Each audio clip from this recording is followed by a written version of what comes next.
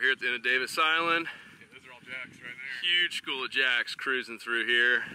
Dolphin are right a lot of dolphin, dolphin right there. right behind them. Those jacks are toast.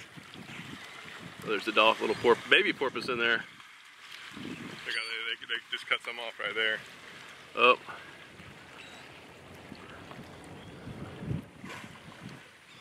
Missed him. Let's go further around. Look at look at that look at that wake.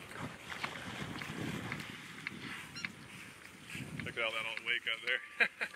That's That nuts. entire wake there is all Oh. Come over here, Jeff.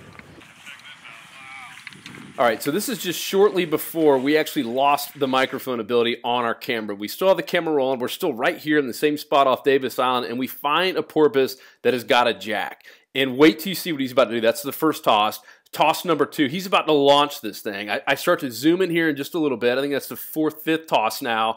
I zoom in and get a really close picture. And in a bit, I'm around the 115 mark, I actually have to zoom. Oh, he's pow, pow! I actually have to zoom out. He tosses this thing so far. Wait till you see it. Just a couple.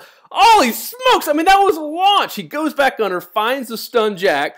Go! Pow! Another awesome one. Goes back under, finds the stun jack, keeps tossing them. That was a weak one. I think the Dolphins actually getting tired at this point, and we couldn't figure out what was happening. Sometimes porpoises will toss their food to kind of readjust it before swallowing it. But I mean, he was just playing with this thing and stunning the heck out of it. And I wish you could have heard Luke's and my reaction live while we're doing this, but I'm glad we still have the camera rolling, and I'm glad you got to see this on the end of Davis Island uh, just here today. Really, really awesome stuff.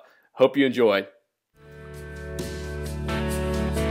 There's something about the water that'll give you peace. All by yourself or with your family. Live salt strong and wear the line today.